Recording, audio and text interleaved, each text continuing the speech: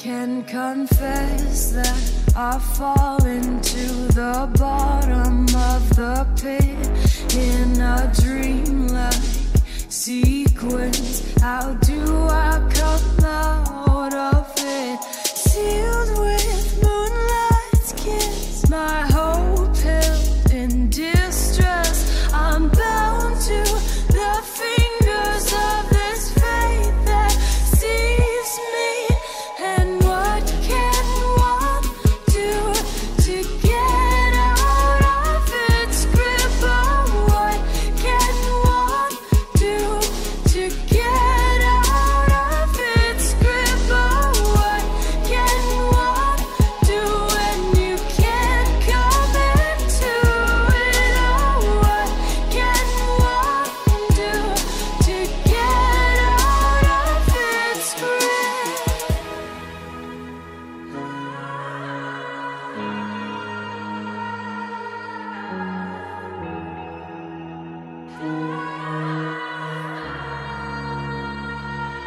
And so I'm reaching and tearing at the walls that restrain me. This climbing and trying to find a way.